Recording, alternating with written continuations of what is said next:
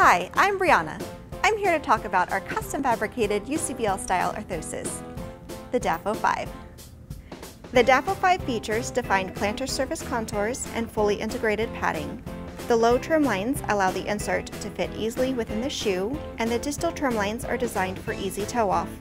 Arch fill and medial heel stabilization come standard for added support. The DAFO 5 Softy is a similar product, but has an inner liner for extra cushioning and support. Several inner liner material options are available.